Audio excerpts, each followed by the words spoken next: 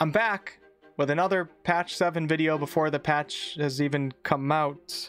But don't worry, today I've got a lot of important information to talk about, starting off with the panel from Hell 5 day has now been revealed and it's going to take place on February 15th at 10 a.m.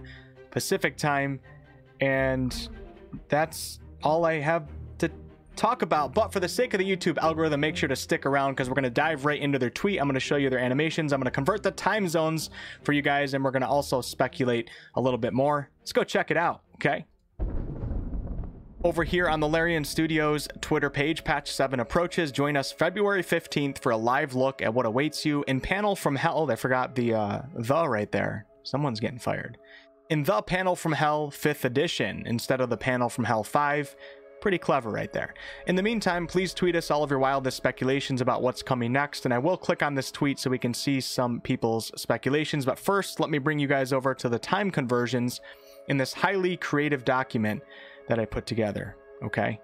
All right, so the panel from Hell 5 is going to be on February 15th for those of you in California, Pacific time at 10 a.m., 1 p.m. Eastern, 6 p.m. for those of you in the UK, 7 p.m. for those of you in Belgium, where Larian Studios is located, 9 p.m. in Moscow, 11 p.m. Pakistan.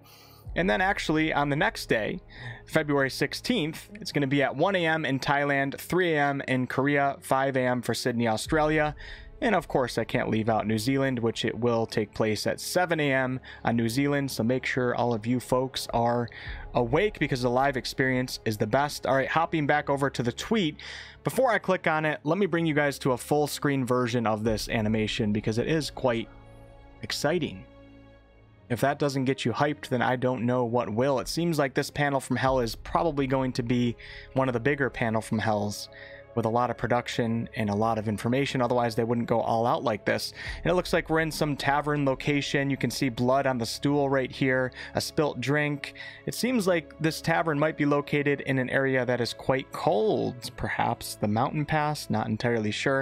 And then you guys can see the sword and the axe that they talked about in a previous tweet right here. Most people are predicting that it's going to be the barbarian class right now, but none of us actually really know. All right, let's click on the tweet now and see what people are saying. While this speculation, eh? Baguette weapons.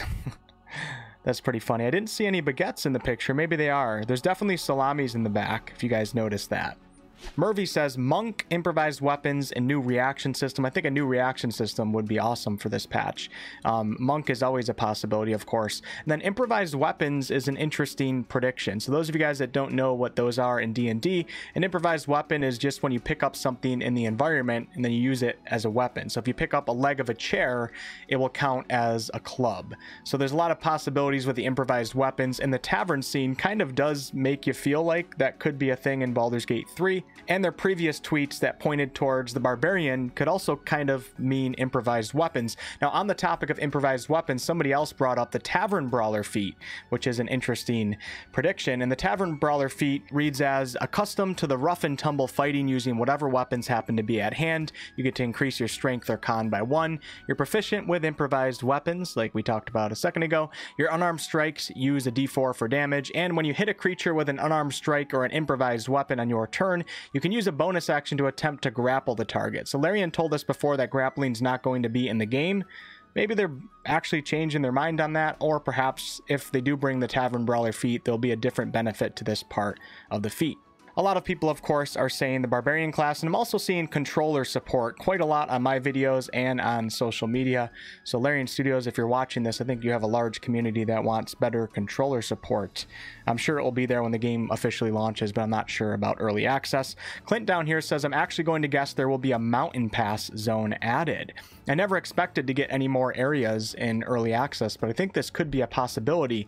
And here's one other thing that I found regarding the mountain pass tweet. If we go over to Swen Vincke's Twitter page, and he's the creative director and owner of Larian Studios, he retweeted the panel from Hell announcement and said, Lots and lots of fun this one will be. I just hope it'll be a cold day.